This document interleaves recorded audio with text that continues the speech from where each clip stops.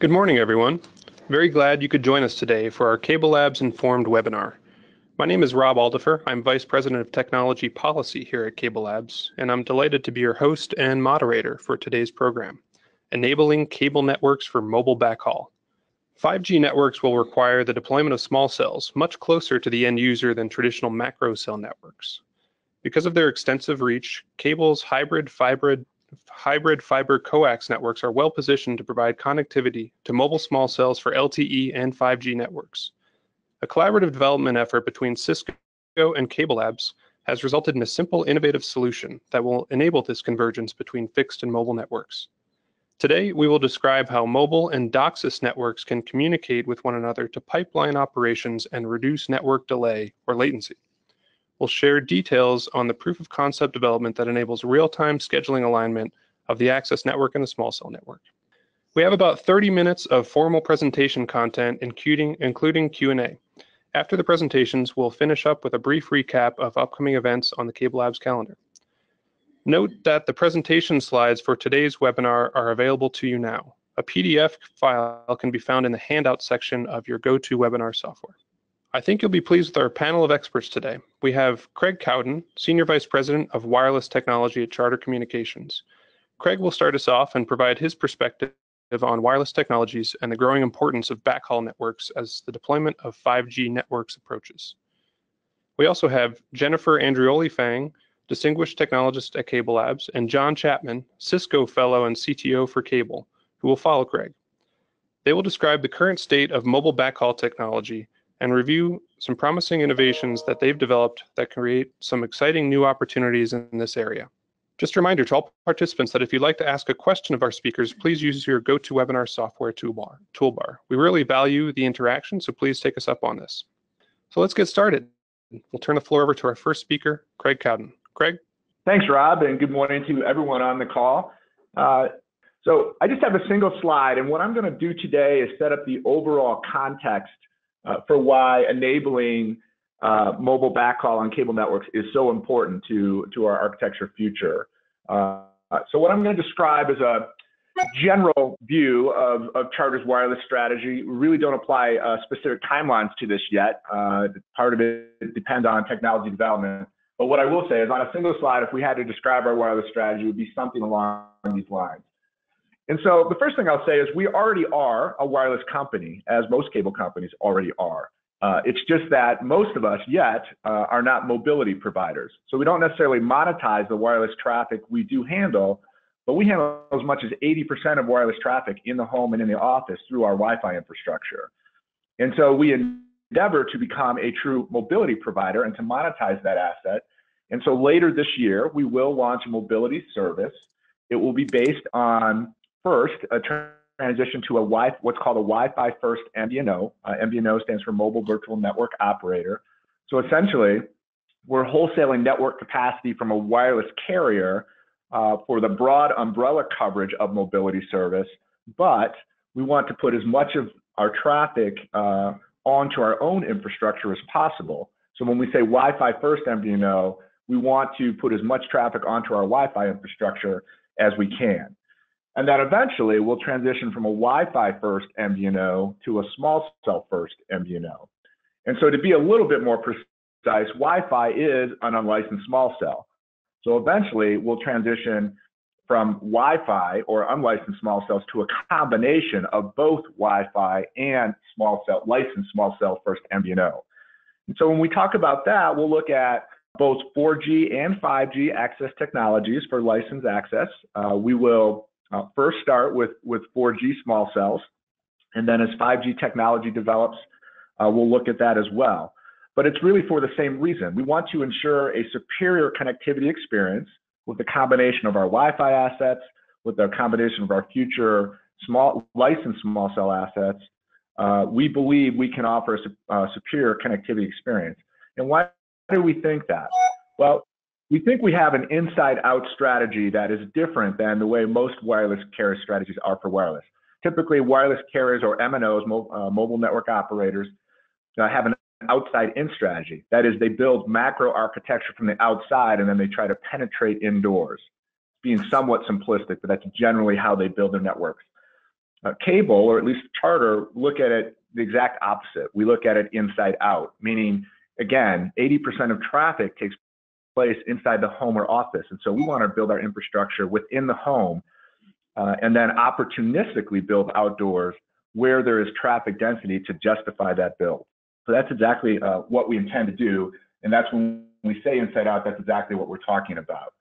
The other thing to keep in mind, particularly with 5G, is that we're going from, if you look at 2G and 3G and 4G networks, they were traditionally built on macro architectures, large towers, broad coverage. Uh, with 5G, even the end of 4G, but certainly with 5G, there is going to be a transformation from macro-based architectures to small cell architectures. And there's a reason for that. In order to generate uh, both bandwidth and latency performance objectives of 5G, one of the critical aspects is spectral reuse or reusing spectrum multiple times. And that's what a small cell architecture enables. That's great. And, and that's a, um, a, you know, that's an admirable goal for all of us. I think the real issue with building out a pervasive small cell architecture though, and there's an irony here, is you have to have a pervasive, widely distributed wireline network in order to enable that wireless uh, architecture of the future. And we honestly believe that Cable's HFC plant, hybrid fiber coax plant, is an excellent vehicle for that because it provides power right of way and backhaul uh, for all of that small cell radio equipment, whether those are 4G small cells or 5G small cells. And so we're excited about the possibilities. So whether we're talking inside the home or outside the home, we believe cable is going to be the first truly scalable fixed mobile convergence platform. And what I mean by that is we're going to take our wireline infrastructure, our fantastic DOCSIS roadmap, and combine that with future wireless technology standard development into a true fixed mobile convergence. So DOCSIS, let's talk about that for a minute, right? DOCSIS, today we're rolling out DOCSIS 3.1 that uh, enables multiple gigs as much as 10 gigs, um, still asymmetric. And then following uh, closely after DOCSIS 3.1, uh, we have full duplex DOCSIS, which truly could enable as much as 10 gig symmetric and even beyond that. But let's just call it 10 gig symmetric today. Well, one of the other things we need though, is we think about using DOCSIS and Cable's HFC plant and its wireline infrastructure to truly enable uh, future technologies uh, for that fixed mobile convergence that I talked about uh, uh, is to make sure that DOCSIS can support the low latency objectives of 5G standards development. So if you think about what 5G means, there's a lot of different things. The things that really matter, at least in my mind for 5G, bandwidth matters, and we've talked about using small cells to and spectral reuse to really increase bandwidth. There's other things that drive bandwidth increase. Uh, service flexibility matters uh, in terms of concept of network slicing and using a common core to enable multiple different slices or use cases. And maybe the most important thing, at least in my mind, is latency matters. And so when we talk about migrating from 4G to 5G networks, the end-to-end latency, or the time it takes from a packet to get from transmitter to receiver and back, is fundamentally lower, as much as a, a, a sub millisecond. And so in order to make that work uh, across a DOCSIS network, we need a low latency set of solutions. And so what we're going to hear about today is uh, some of the early ideas for how we can take our existing DOCSIS network and overlay it with LTE wireless networks in something uh, called pipelining or, or parallel passing uh, the latency objectives of both DOCSIS and, uh, and LTE wireless networks to minimize the overall end-to-end -end latency. That's incredibly important as we talk about how we would be able to enable our DOCSIS HFC networks uh, for true fixed mobile convergence, particularly as we talk about 4G and especially 5G, uh, where those lower latency requirements are essential. So with that, I think I will hand it back to Rob. I'm open for any questions anybody might have on the uh, on the phone. Thanks so much, Greg. That was a great review of Charter's wireless strategy and roadmap. Let's ask a couple questions here just to pick up on some of the themes that you outlined. And one is this notion of DOCSIS as the, the key ingredient for mobile backhaul. That might be new information for some of our listeners today. We hear a lot about fiber as the key enabler for mobile backhaul. So can you just outline what's the case for DOCSIS relative to fiber? So good, great question, and we'll use fiber too. In fact, uh, maybe it's a dirty secret, maybe it's not, but that HFC network stands for hybrid fiber coax. So so not just Charter, but all of cable has extensive fiber infrastructure as well. So there are absolutely going to be cases where we use fiber for, for backhaul as well. And as we think about how we use fiber already for our enterprise businesses and how we use fiber uh, to provide cell backhaul already to wireless carriers to their macro towers, uh, there is pervasive fiber already. However, when we talk about uh, DOCSIS and the importance of coax, it's really important when we say one of the key advantages we have is, is our HFC network uh, provides backhaul, right of way, and power. Let's emphasize power for a minute. That coax, the coax plant of HFC, can be used as the power uh, uh, uh, uh, conduit uh, for the powering of that 5G infrastructure. Fiber in general is a passive platform. We need both high, we need both fiber and coax so that we can provide not just backhaul, uh, but also power. and then, of course, with HFC, we have right of way, right? We can actually hang small cell equipment onto our infrastructure, just like we already do with outdoor Wi-Fi. I would say in the home, especially though, uh, we're going to continue to pervasively deploy DOCSIS as an infrastructure. And again, if you think about uh, the future of, of wireless networks, you know, 80% of that traffic, and likely to be even a higher number going forward, uh, is going to take place inside the home or office. And so, you know, we're not planning to build fiber, uh, certainly not kind of overlay fiber onto existing uh, DOCSIS infrastructure, um, you know, where DOCSIS has this fantastic roadmap already that I already described with DOCSIS 3.1 and full duplex DOCSIS. And so one of the things we really need to, to address is how do we, uh, not only with this fantastic uh, DOCSIS roadmap, but how do we drive lower latency so that we can support those future applications? And so we just think DOCSIS is going to be a, a critical part going forward of, of how we support uh, uh, future networks and, and definitely will be part of the backhaul solution uh, going forward. Yeah, okay, great. So clearly you see mobile and fixed broadband networks converging further together. Um, what are some of the potential barriers to doing that? You talked a bit about latency. Are there other elements, whether it's spectrum availability or the development of the ecosystem at 3.5 gigahertz or, or other factors that you see? Yeah, I mean, those are all uh, those are all obstacles, I don't think they're insurmountable, right? So when we talk about how will uh, do fixed mobile convergence, the the wireless component, particularly for cable operators, is is in some sense, you know, we're somewhat new to the game there. Not new in wireless in general. Like I said, I think we're, I think uh, uh, we're leaders when it comes to Wi-Fi. Almost no question that that's true. But for licensed technologies, that's something we're relatively new to. Uh, I would say though that you know, we are going to look at all kinds of different spectrum options. There's really no spectrum op option out there that we wouldn't uh, strongly consider. We'll certainly look at uh, low frequency bands uh, as low as 600 megahertz. We'll absolutely look at uh, millimeter wave uh, for 5G. In fact, we have at Charter and, and other cable companies, we've been conducting uh, millimeter wave trials for 5G over the last year, and we'll continue to do so. So we'll learn more about what the specific use cases that can be used for millimeter wave. I would say we're maybe particularly interested in uh, in um, 3.5 and CBRS, Citizens Broadband Radio Service. Uh, that is a interesting uh, spectrum that the FCC is is working through right now. In fact, there's a, uh, some real key decisions that are going to be made about CBRS in terms of how uh, it will actually roll out. Uh, and that uh, you know could affect um, how aggressive cable or any other um, uh, group would be in terms of their attitude towards CBRS. But but it's 3.5 gigahertz. So if you think about Wi-Fi, Wi-Fi is between 2.4 and 5 gigahertz today. So 3.5 is kind of right in the middle. The form factor for a CBRS small cell will look very similar to what a Wi-Fi access point looks like. Uh, what's interesting about the that frequency is that it really is the way the FCC rules are going to be set up. It's really set up to be a small cell technology in terms of the relatively limited output power that will be required.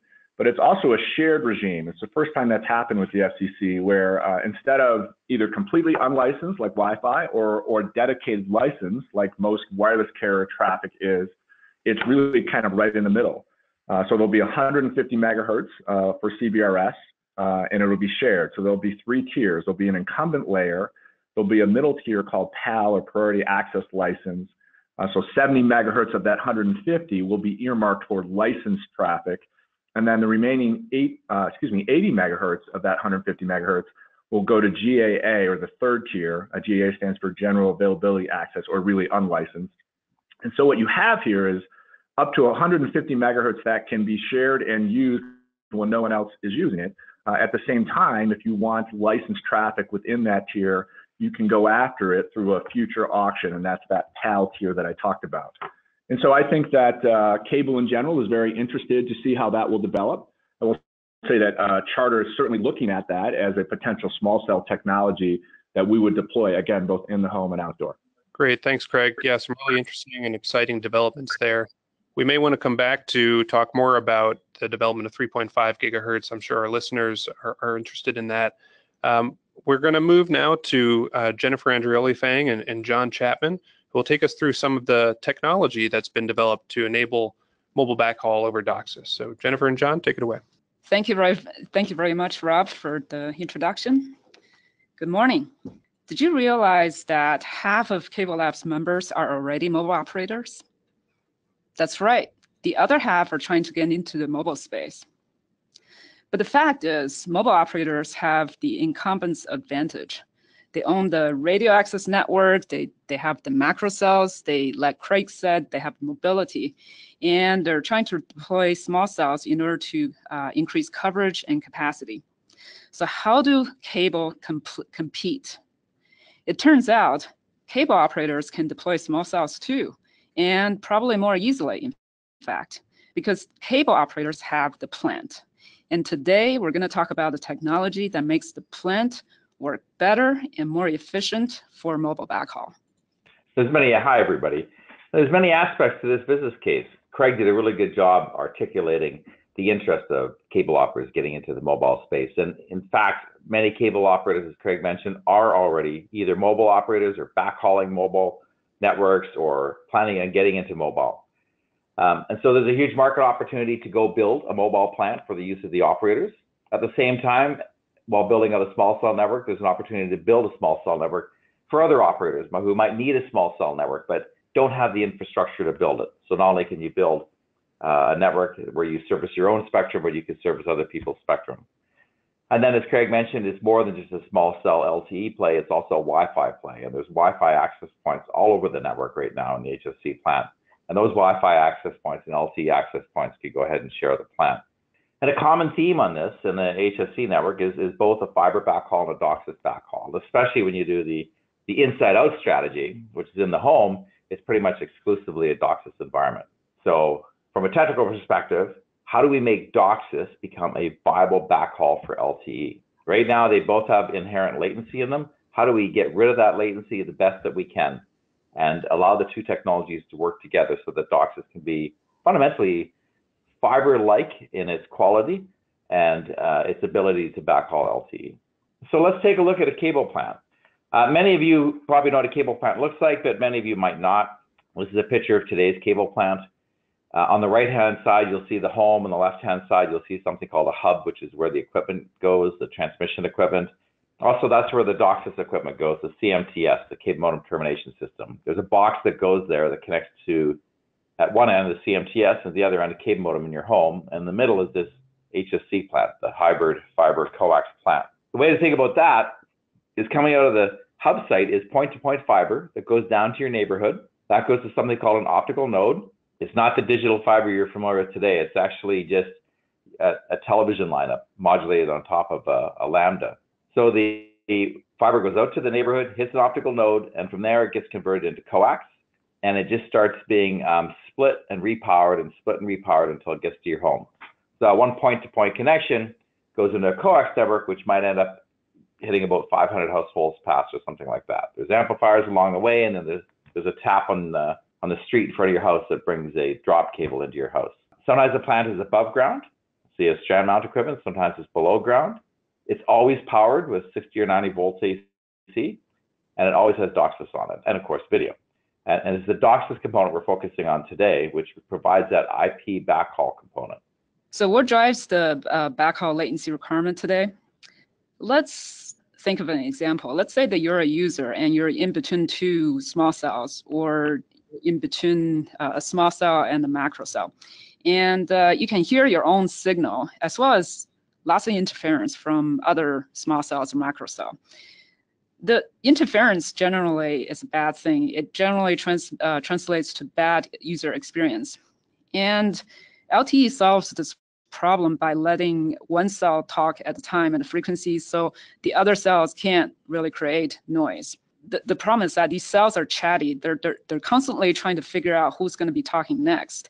And they need to do that really fast. What this means is that DOCSIS as a backhaul will need to provide generally less than five milliseconds of latency to make sure that they can talk fast enough. So the question here is, can this five milliseconds be supported today? So today on DOCSIS, five milliseconds is pretty much the minimum latency. And this is based upon uh, measurements we've taken on a DOCSIS 3.0 network. The typical latency in a DOCSIS network might be around 11 milliseconds. And we're talking about upstream latency right now. Downstream latency actually is a lot quicker. Um, and it can extend out to 20, 30, sometimes even 50 milliseconds if you get contention on the upstream and, and there's retries.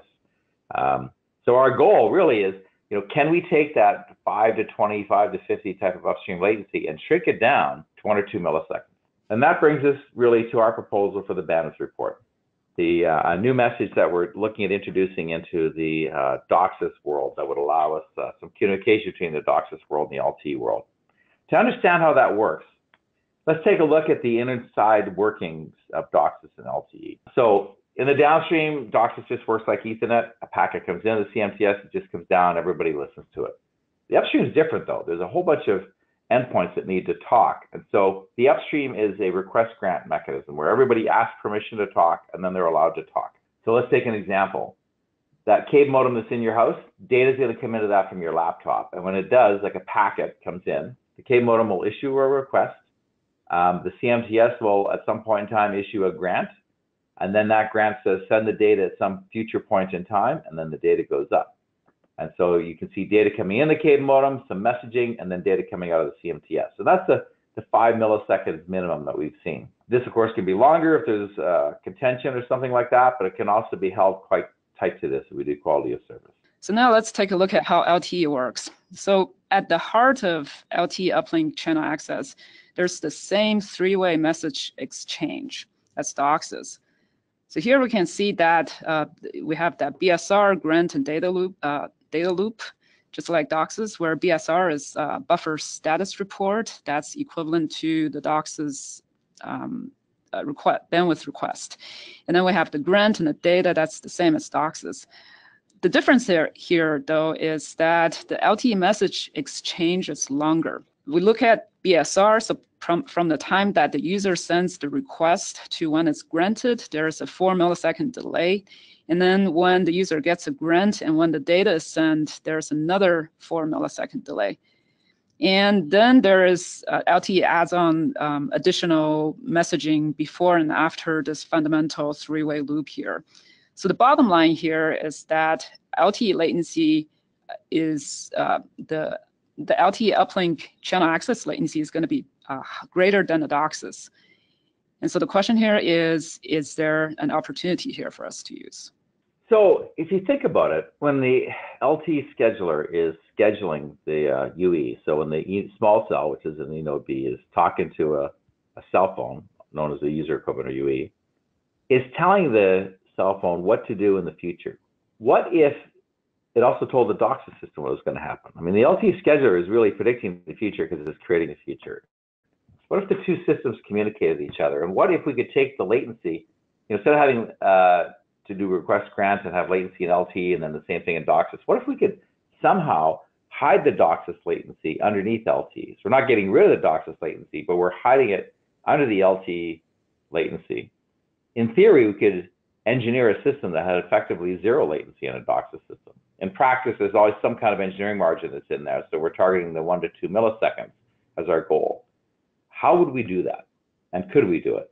This is how the backhaul system works today. So on the left-hand side, we have LTE system, and then on the right-hand side, we have a DOCSIS system. So a little note here on the color scheme. Without, it's pretty cool to um, to uh, to denote green as uh, which represents the color of ground uh, for DOCSIS, and then blue, which is color of sky that represents LTE. And I will try to keep it consistent throughout this, uh, this presentation here. So we have two systems here, and uh, what we did here is that we single out the eNode B scheduler, the small cell scheduler, and uh, the, the CMTS scheduler, because the schedulers are really the brains of this operation. The, um, the LTE and DOCSIS systems, they're both request and grant systems. And how it works is that, um, let's say the UE has packets to send, so the UE would ask for bytes and then uh, to send uh, to send bytes, and then it gets granted, and then it sends data. And really, that's how DOCSIS works. Uh, it works the same way.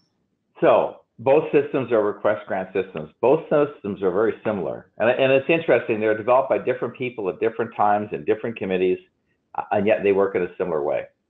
So what if that scheduler on the left-hand side and the LTE system talked to the scheduler on the right-hand side?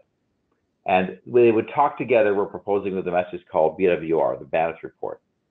Fundamentally, the bandwidth report becomes a request into the DOCSIS system.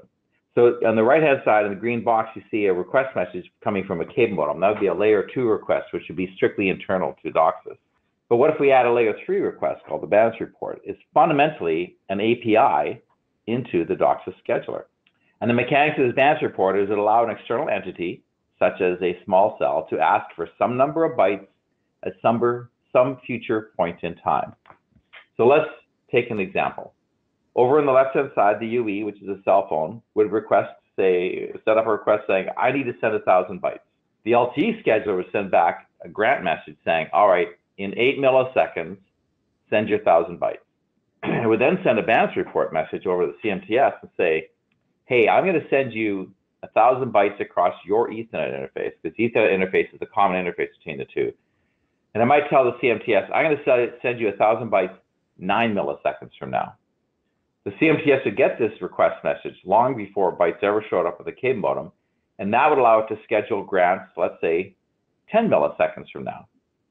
So the packets leave the UE 8 milliseconds from now, they hit the Ethernet interface 9 milliseconds from now, and at 10 milliseconds from now, they go through the cable modem that's how the system will work.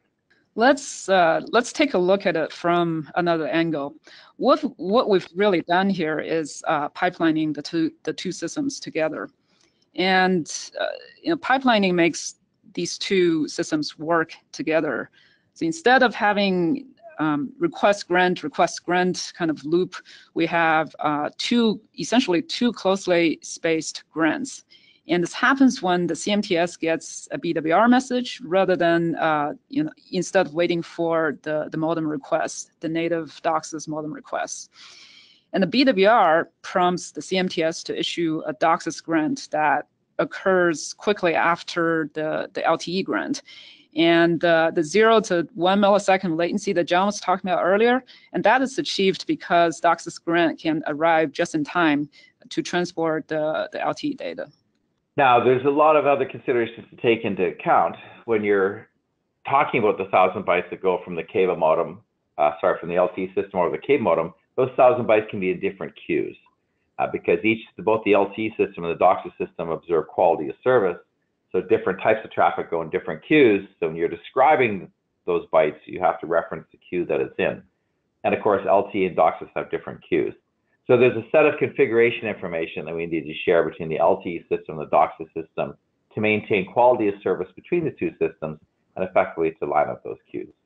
Okay, so I see that there is uh, there there were some questions coming in about the remote PHY. So I'm glad that we have the slide ready.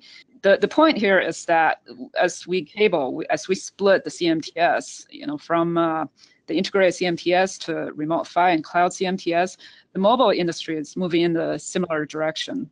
What they call the virtualized RAN, the vRAN or the cRAN is really similar to what we've done for DOCSIS by removing the lower layer components such as PHY to remote locations. And vRAN is actually really synergistic with DOCSIS remote PHY architecture.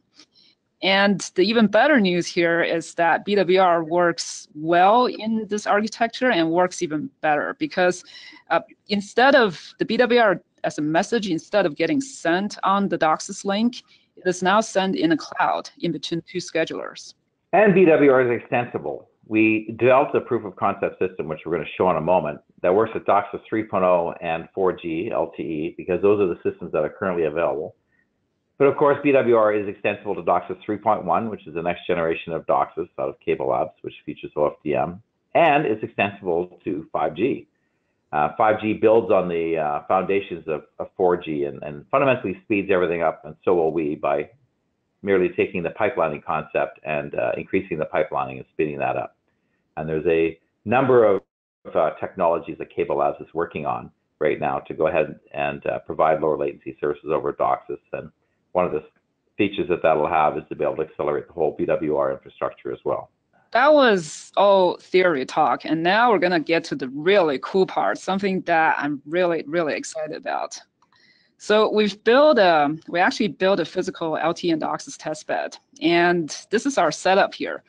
We have a commercial LTE user device, and uh, this UE is talking to a uh, open source LTE eNode B, LTE small cell, and that is backhauled through a commercial DOCSIS 3.1 modem, and that is talking to a Cisco CBR8 uh, CMTS that is not shown here. And so what we've done here was that we um, inserted a small amount of code into the LTE MAC layer, the scheduler, so that we didn't really change anything about the scheduler, but we asked the scheduler to spit out its scheduling decision and put it in the form of a BWR message. And that message gets sent on the DOCSIS uplink, and uh, that is received by an API on the CBR8 that looks at the message and uh, works on it, and then uh, spit out the uh, the traditional DOCSIS um, uh, bandwidth request, which is an input to the, today's CMTS scheduler. So um, we send a series of ping packets from the LTE UE to the CMTS um, to see if BWR gives us any uh, latency advantage or not. And here are the test results. On the graph, you'll see a red line going through the middle. That's at five milliseconds. Our goal was to build a system where we could get latency below five milliseconds, which previously was the, the fastest the DOCSIS upstream system would go. So on the graph, you can see what happens when we turn the BWR messaging system on and when we turn the BWR messaging system off. In this particular screen capture, we were able to reduce the upstream latency from 8 milliseconds to approximately 4 milliseconds. With some uh, manual tuning in the lab, we were actually able to take this down pretty close to a millisecond of upstream latency. So it worked. So this brings us, I think, to the conclusion of our seminar today. And I think the messaging that we would emphasize is that, you know, the BWR method, the bandwidth report, it works today with LTE and DOCSIS 3.0, and it's going to work with the newer technologies, DOCSIS 3.1 for the cable environment and 5G for the LTE environment. And DOCSIS, which is really just IP over cable, um, and you know, fiber is just IP over fiber. DOCSIS is well positioned as a viable backhaul technology for LTE, and this will support the inside-out strategy that uh, Craig talked about, and really will support strand mount. It'll, it should support the entire small cell rollout. But the path to success is actually having mobile and DOCSIS technologies working together as one. And when we showed the, the proof of concept to the operators, uh, our operator members had showed a lot of interest and therefore, we are starting a committee to standardize um, the, the BWR protocol itself. We, we're having a CableLabs committee going on right now. And we're also working on carrying precision timing over DOCSIS. That is really fundamental to any small cell deployments and also perfecting the operation of a BWR itself. And so with all of these efforts, we're, I believe that we're on a good path to enable DOCSIS as a better mobile backhaul. And so this is it, our presentation, and I'm going to hand it over back to Rob for questions. Thank you.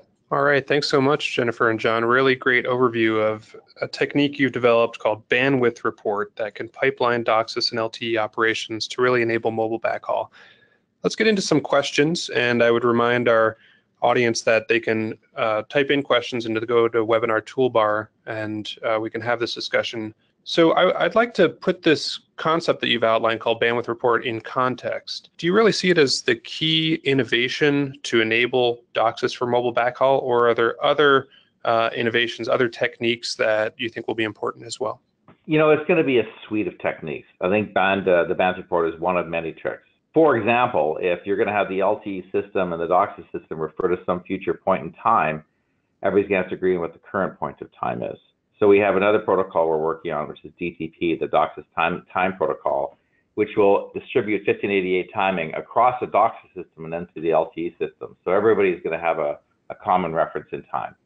And then there's a series of other techniques as well that CableLabs is working on to um, speed up DOCSIS. Okay, great. Thanks, John. And we've talked a lot about enabling um, DOCSIS for mobile backhaul, but I wonder, will some of these techniques also be applicable for enabling convergence with Wi-Fi and 802.AX? We are exploring the possibility of that. I, I think that the key here is that um, the LTE latency uh, the reason that we can take advantage of possibly hiding the DOCSIS latency under LTE latency is because the LTE messaging um, exchange is longer than DOCSIS. So I think that we'll need a technology that has kind of a similar latency loop that we can take advantage of. And definitely 802.11ax works in similar ways um, in that it does have a centralized scheduling. Okay, thanks, Jennifer. So get some, getting some questions here from our, our audience around um, quality of service and the variability in performance that you might expect across uh, implementations of this technique. Can you comment on that, perhaps, John, and provide us any additional technical details that you, you think will be important to enabling consistency of performance? So for the audience, for our audience, let's define kind of the, what is quality of service and what are its, its goals.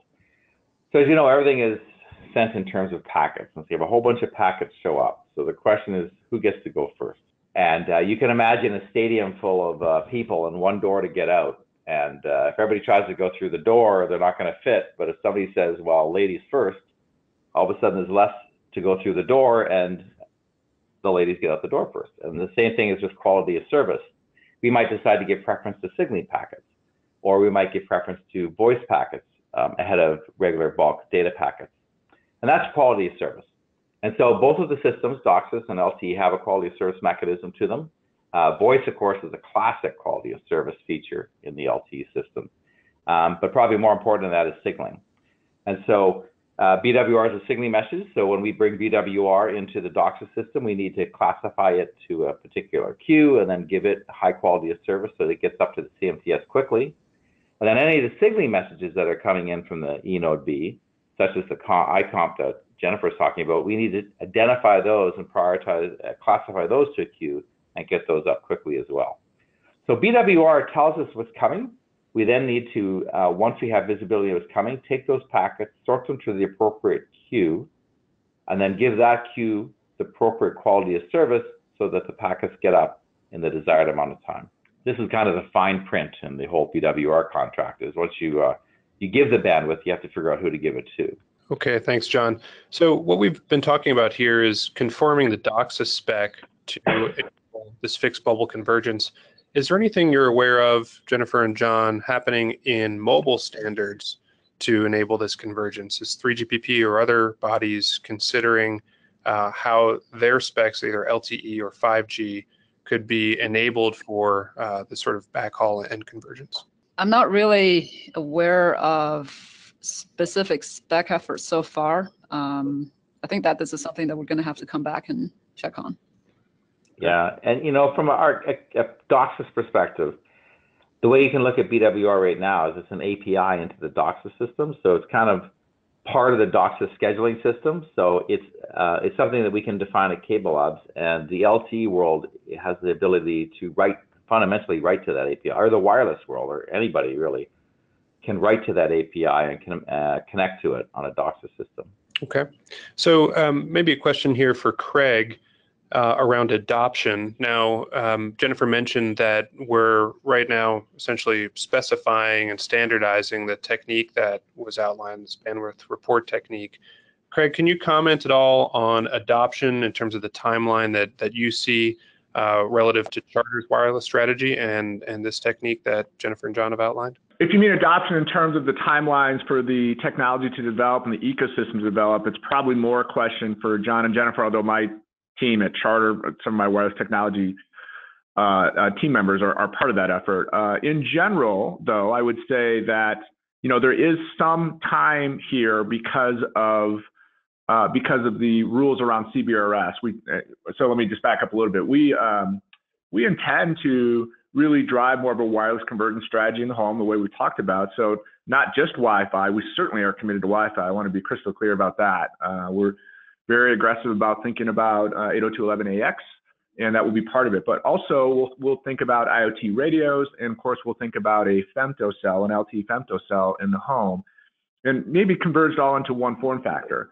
But so when we talk about that, and if CBRS is the uh, is the license spectrum we would do for for that femto, uh, you know, there is some rules development that still needs to take place um, around that, and then there is an entire ecosystem of equipment manufacturers that is still uh, taking place, and then maybe maybe the most obvious, the uh, mobile device uh, manufacturers have to support uh, 3.5 gigahertz as a frequency in the phones, or, or in the United States called band 48 which is that CBRS spectrum.